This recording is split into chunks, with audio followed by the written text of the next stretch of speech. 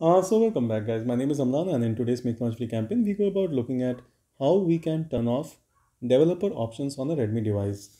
Now I have the Redmi Note 9 Pro Max with me here and let's look at how we can disable developer options. Now swipe from the top, tap on the grid. This is basically the settings page. Scroll down until you see additional settings, tap on this.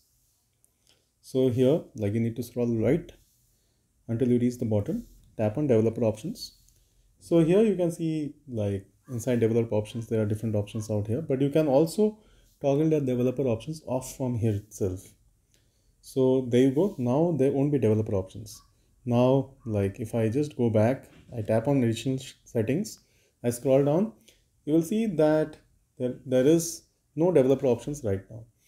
So this is how you turn the developer options off on a device please do understand like uh, I can easily bring it back by heading to settings tapping on about phone tapping on MIUI version like several times and you know I become developer. And then now again when I go back I can again see it under additional settings. Right at the bottom developer options is there.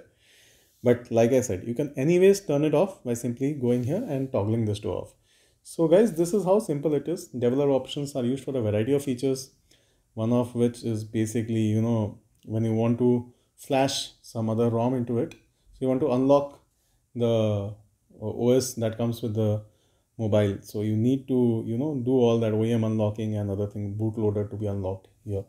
So all those things can be done, but like suppose you are giving the phone to somebody and you don't want the phone to be, you know, dealt with insensitively, then you can go ahead and for privacy concerns, you can turn off developer options like how we have discussed now.